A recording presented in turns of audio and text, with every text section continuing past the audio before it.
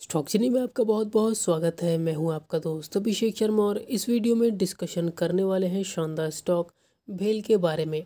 यहाँ पर हम डिस्कशन करेंगे क्या होने वाले हैं इंपॉर्टेंट सपोर्ट्स क्या होंगे टारगेट्स और क्या स्ट्रेटजी हम लेकर चलें अट्ठाईस जनवरी के लिए।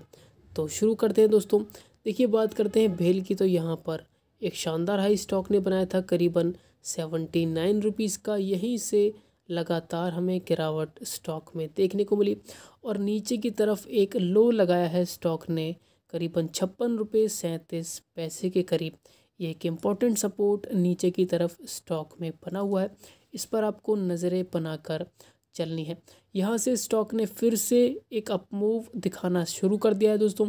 दो दिन से लगातार तेज़ी स्टॉक में हमें देखने को मिल रही है। अगर यही तेज़ी बरकरार रहती है तो जल्द ही नेक्स्ट टारगेट जो कि स्टॉक अचीव करता हुआ दिखाई देगा, वो दिखाई देगा दोस्तों सिक्सटी टू रुपीज़ फिफ्टी पैसे का टारगेट बासठ रुपये पचास पैसे का टारगेट जल्द ही स्टॉक अचीव करेगा, अगर तेज़ी बरकरार रहती है।